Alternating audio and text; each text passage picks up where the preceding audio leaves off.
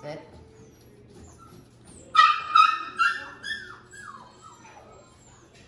Nope, sit.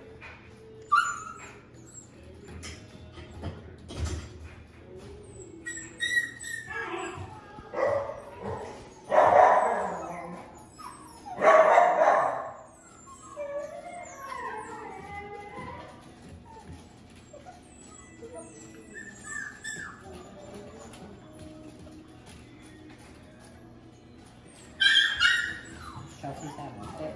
He'll give you big pieces. No. so that's why we ran out. So you gotta taste it. You got to savor the flavor. Good job. Good job, now.